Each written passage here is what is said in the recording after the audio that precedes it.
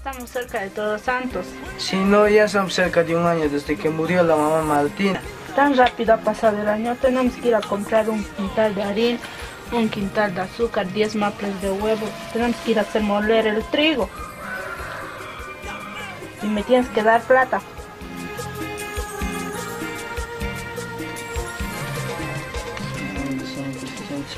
Ahí está. Esto no me va a alcanzar, tengo que comprar más.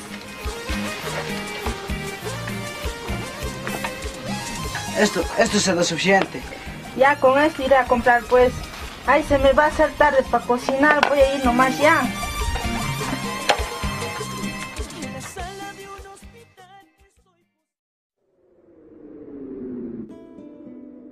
Con anticipación, los dolientes realizan distintos preparativos. Alistan la leña, van al molino a moler el trigo y preparan la chicha. Hay mucho trabajo por hacer antes del Día de Todos Santos. Por eso se realiza la minca, que consiste en la participación de toda la familia y los más allegados, que colaboran en la elaboración de las masas, la chicha, comida y en especial en el armado de la mesa o mastaco. Tantahuahuas, cóndores, escaleras, alas, caballos, peces son las distintas formas que pueden adquirir los panes. Cada uno tiene un significado y un propósito distinto. Las tantahuahuas son niños hechos de pan, que simbolizan la pureza de los espíritus. Las escaleras sirven para facilitar la subida al cielo de los espíritus.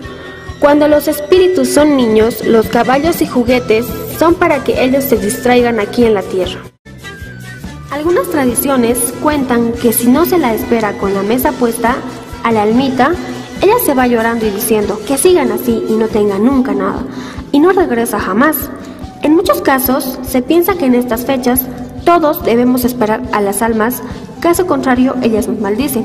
Por eso es importante armar la mesa o mastaku para esperarlas. De este modo se evita el alma castigo.